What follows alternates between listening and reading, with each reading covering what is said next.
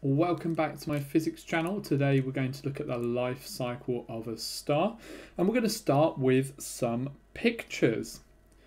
So here we've got two pictures, both from around the 14th, 15th century, might be the 16th century, um, quite a long time ago. But in both of these pictures, we can actually see that astronomers at the time had found something new. Now, on the first picture, and you can't quite see it, but the moon is out, and uh, sorry, the sun is out, and these astronomers are pointing out that there are two stars that are bright enough to still be seen in the day sky. And the same with this picture here, which is showing that there's a star potentially during the day. Well, what's all that about? Well, in this session, we're going to explain it and we're going to explore it. So it's all about the life cycle of a star. Now we need to be able to cover four things by the end this, this session. We need to be able to describe the evolution of stars that have similar mass to the sun. So basically what the sun is going to do as it grows older. We need to be able to describe the evolution of stars with masses greater than the sun. We also need to talk about the forces acting on a star and explain how the balance of these two forces affects the life cycle of the star. And we're going to talk about that as we go through. So we're going to have some uh, quite interesting drawings today, but it is important that you've got a pencil and a ruler ready to go because this is kind of a flowcharty kind of lesson. So let's go to the visualizer. We're going to start off with this uh, structure that we find in our um, galaxy, which is called the Horsehead Nebula. Now this is a nebula which is a cloud of dust and gas that's been pulled together by gravity, which is going to form our baby stars. We call this a stellar nursery. So let's just make it a bit bigger so you can see. So there's our nebula. This is the Horsehead Nebula. It looks a bit like a horse head uh, over here and we can see there are some stars around it. These are our baby stars, our protostars that are being formed in the nebula itself. So we are going to start by drawing a little bit of the Horsehead Nebula. In fact, this is a slightly different nebula, but it doesn't particularly matter. This is what it is. It's a nebula and a nebula is a cloud of dust and gases. So dust and gases. Oh, a bit too high. Pull that down a bit. Uh, it's pulled together by gravity.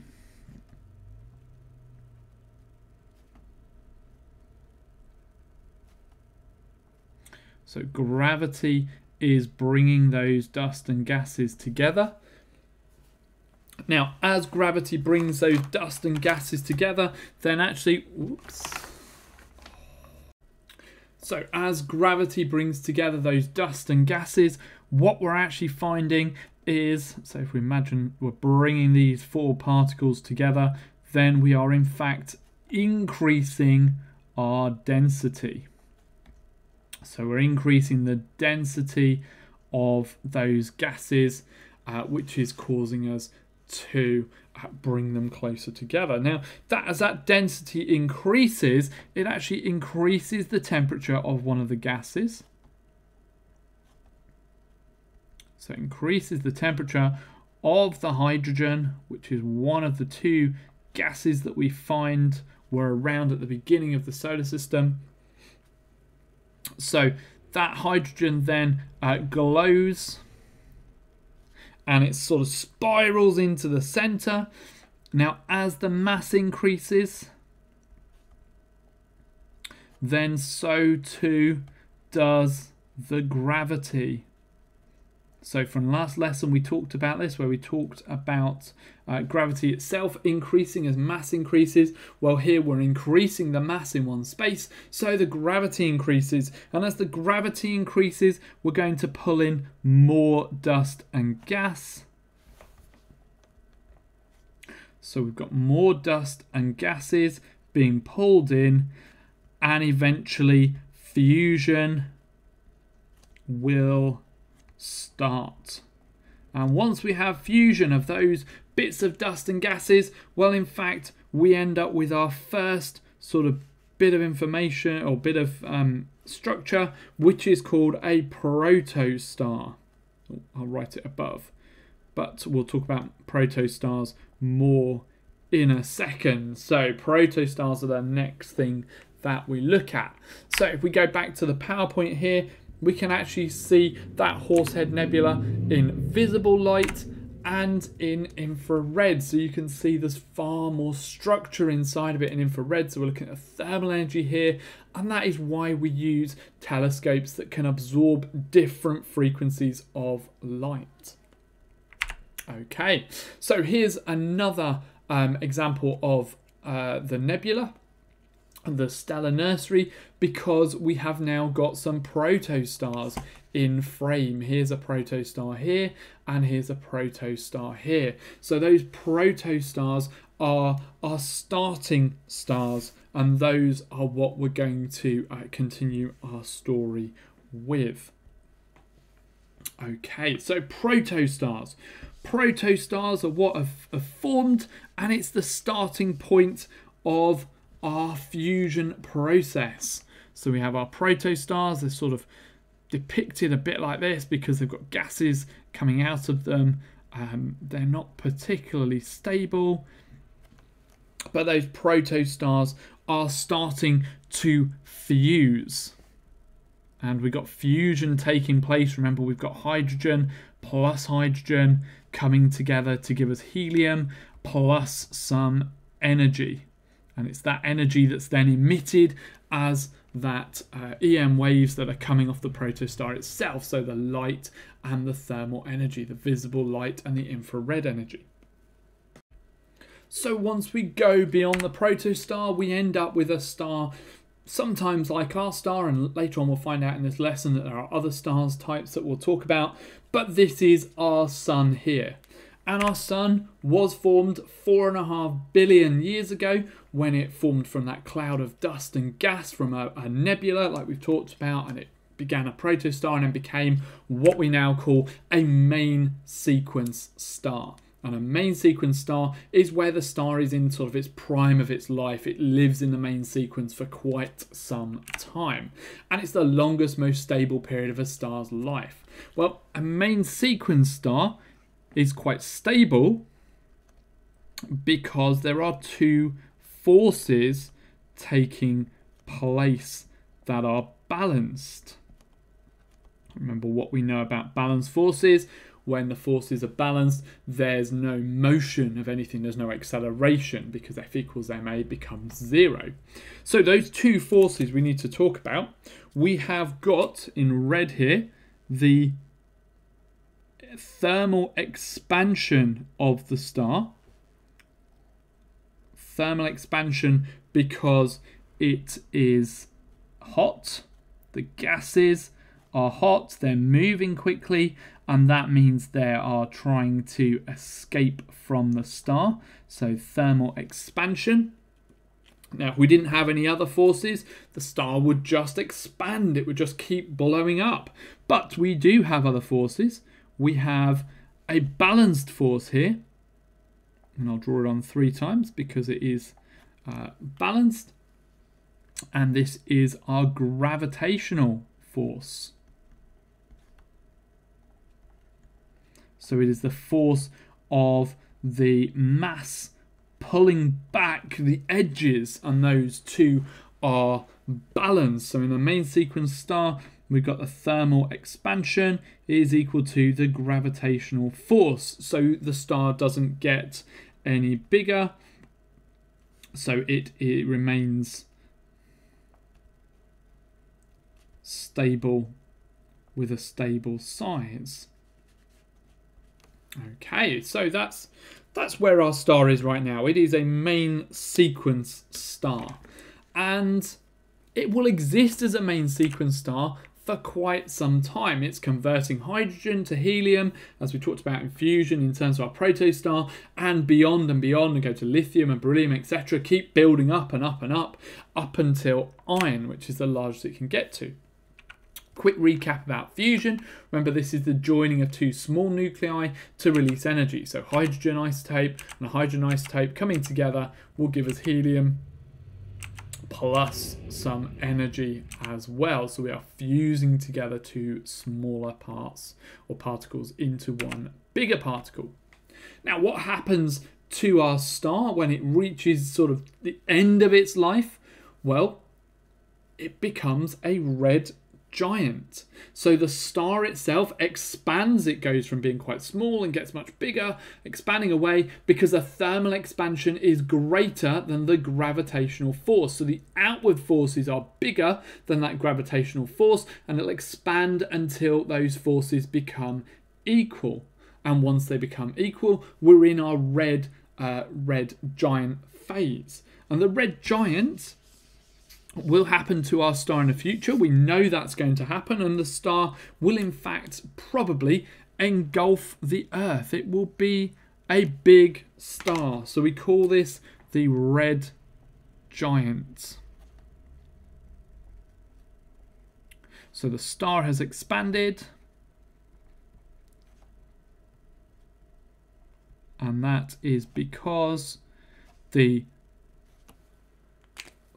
thermal force is greater than the gravitational force, which means it expands outwards. So that's the next stage of our star. It, it expands into a red giant. Now here's a scale diagram for you. On the left, we have the Sun as a main sequence star, so diameter of about 1.4 times 10 to the 6, or 1 one hundredth of an atomic uh, of an astronomical unit, which is uh, the distance from the Earth to the Sun. That's what we call one astronomical unit. And here, the Sun as a red giant is in fact a hundred times bigger, so it's expanded massively. Now, what happens? When it reaches the red giant, well, that is where the star has fused all the way up to iron, and it can't fuse any further because you have to put energy in to get cobalt. So, up until iron, you're gaining energy and you gain less and less and less energy the bigger the atom becomes. But you reach cobalt, and suddenly you need to put energy into your fusion reaction, and that's not possible in this situation. So we go beyond the red giant, we end up with what we call planetary nebula, which is where we've got a small core left in the center and all around the edge, a bit like a fried egg, we've got these really beautiful uh, shapes where the outside layers of our star are escaping into the space around it. So this is what we call a planetary nebula. And some of the um, elements that have been fused at this point are escaping to space and they're, they're going to be reused. It's kind of a recycle process. And we've got some more pictures here. That's the end of a red giant's life. The outer layer drift off into space, and this one especially is called the Eskimo Nebula. Here we've got the Cat's Eye Nebula and the Helix Nebula. So they are really quite beautiful um, structures. And what we're left with right in the centre is a white dwarf. Now, it's a very, very small object left in the solar system. It's white because it's still emitting every single type and colour of uh, electromagnetic radiation. It's still extremely hot. And as we know, when you put all the colours together, you end up with white. And this is a white dwarf here that's about 1 in 1,000 light years, uh, about, sorry, it's about 1,000 light years away from Earth. So the light from this takes a thousand years to reach Earth. So if you're looking up at this in the night sky, you're looking at light that's a thousand years old. And that's kind of the end of the story with regards to stars that are our size we could potentially have something called a black dwarf in the future. And we call those hypothetical stars because we've never seen one. So it's where a white dwarf has cooled down. But as you can see here, it would actually take longer than the time we've had of the universe, the age of the universe, for a white dwarf to cool and become a black dwarf. So we haven't seen any yet, but we predict that's what's going to happen. Okay, so let's go back to the visualizer now and let's draw this out in its entirety, one half of our story for a life cycle of a star. So we started with our nebula. We looked at the Horsehead Nebula, but there's also this uh, different one that Hubble found. And these are called uh, just nebula, or in fact, you can name them as um, as stellar nurseries. So beyond the nebula, we've got the protostar,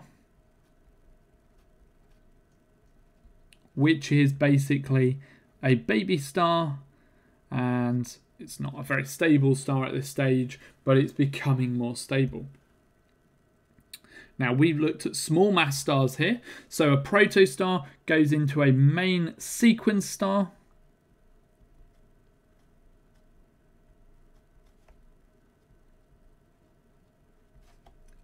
and that main sequence star exists for a while.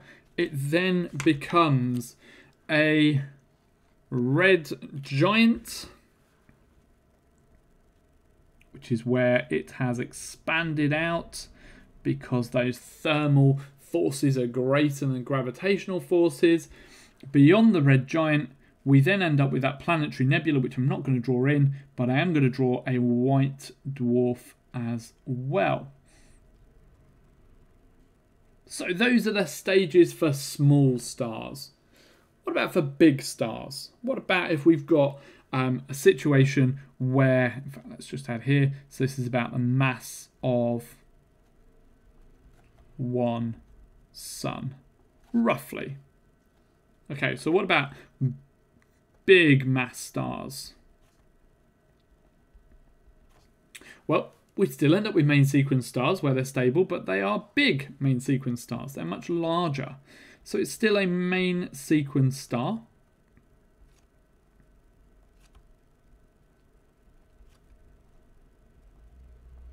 Now that main sequence star will still use up all of its uh, elements and will be get heavier and heavier. And so the outer layers will uh, sort of move away.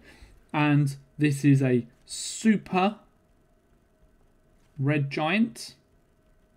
We're not great at uh, coming up with names in physics. So we've got a super red giant. That super red giant now has two options. In fact, that super red giant has masses that are so big in the center. It's got a core that's so heavy that it can pull those outer layers back in. So that gravitational field is in fact big enough to pull the layers back in. So we don't end up with a planetary nebula like we have here. We bring these edges slowly back in and then they speed up as the acceleration increases until they collapse together. And when they collapse together, we end up with a supernova. And that supernova is a big explosion so the star centers at the center, but we have energy being used to keep fusing and in fact we fuse beyond the iron that we got to so far. So elements beyond iron can be made but we have that supernova taking place there. Now I've run out a little bit of space so I'm just gonna have to start again. So we've got two more little bits that we need to consider. So supernova again.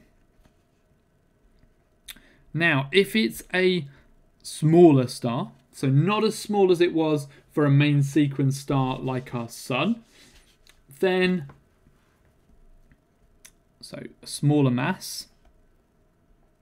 Then we end up with what we call a neutron star. And a neutron star is literally that. It is a star made up of neutrons. So it is just neutrons inside of it.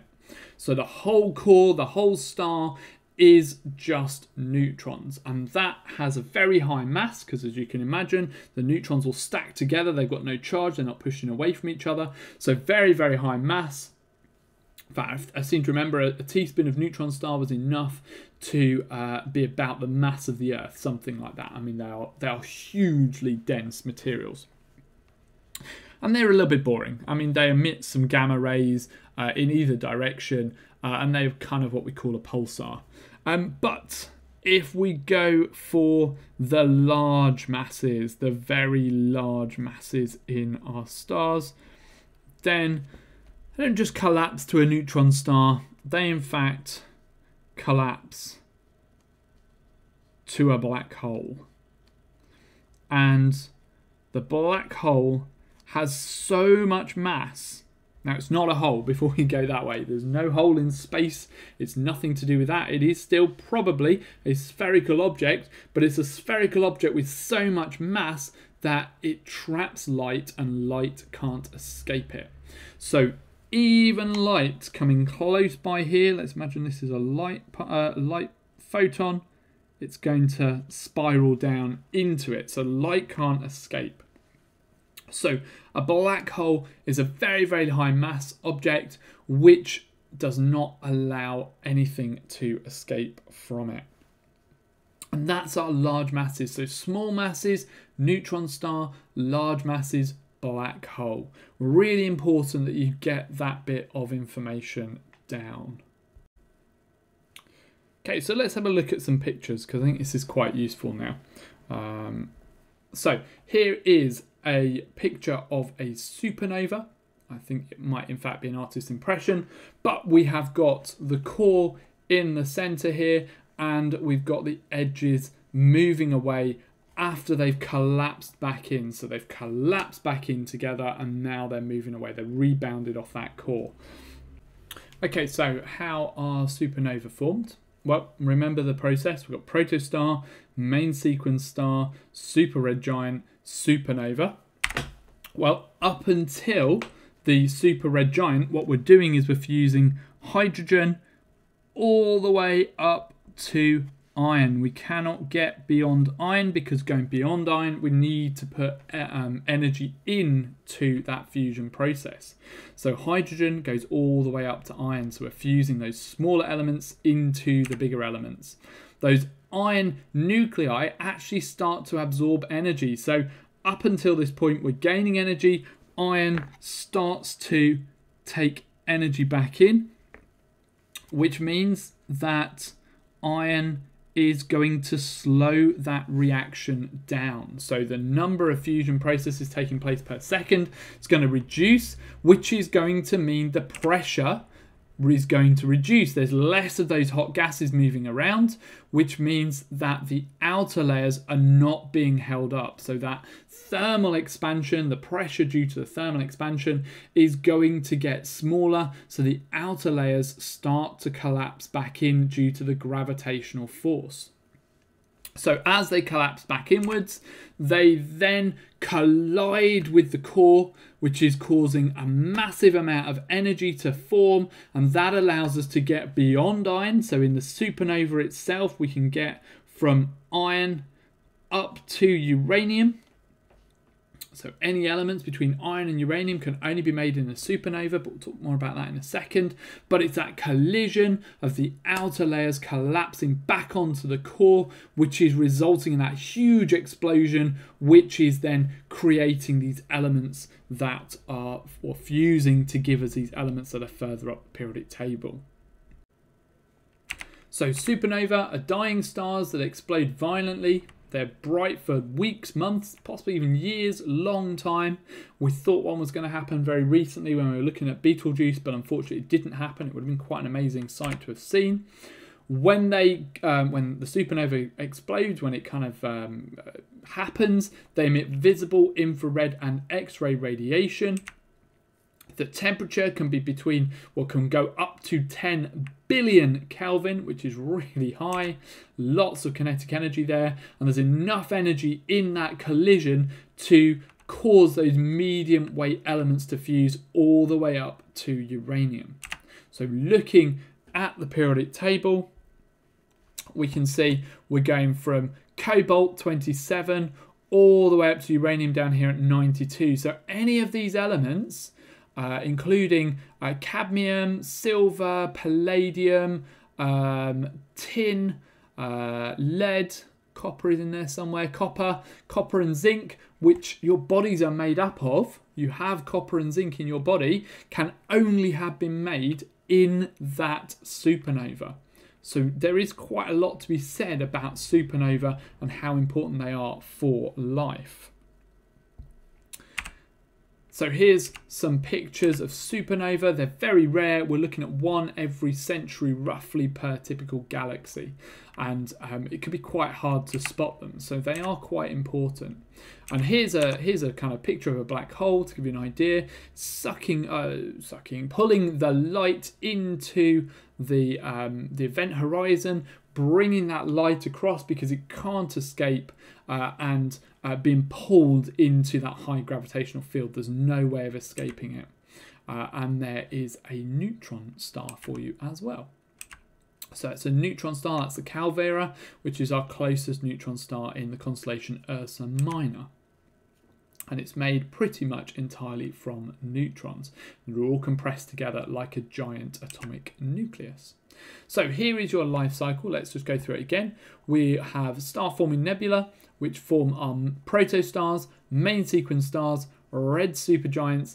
Uh, we then have those explosive outbursts, which cause the supernova. We've got black holes, we've got neutrons, and then the rub the chemicals that are recycled are then go back into the interstellar medium and form nebula again. So this is the life cycle of those massive stars. And remember, we've seen that you can have a process that can have two branches with two extra branches at the end, which is really important to know. Uh, so here are some pictures of some star formation as well. At this stage, I'm going to link you a video below that I'd like you to watch, which is all about the life cycle of the stars by the Institute of Physics. It's a really good video, well worth watching. And um, I'm going to end with just this section here. So let's go to the full screen for the PowerPoint so you can see it.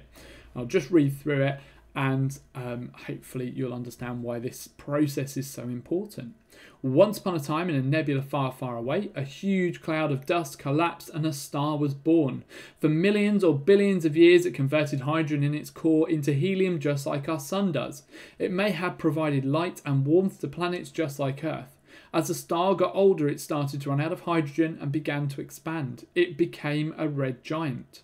As its core temperature increased as carbon atoms formed from the fusion of helium atoms, gravity pulled the carbon atoms together as the temperature increased and additional fusion processes proceeded, forming oxygen, nitrogen, and eventually iron. It would have been very bright in the sky. The core temperature rose to over 100 billion degrees. As fusion in the core ceased, in less than a second the star collapsed on itself. When the star exploded, it scattered heavy elements that only a supernova can make we could not exist without those elements. So you really are made of stardust. Because without those supernovae making those elements that are greater than iron, we could not have life as we know it existing. So there we go. That is our lesson on the life cycle of a star. As always, if you've got any questions, if there's anything you want to know further, you know how to contact me, do contact me. Um, I will leave you some tasks on the assignment on Teams. Thank you for watching, and I will see you for the next one.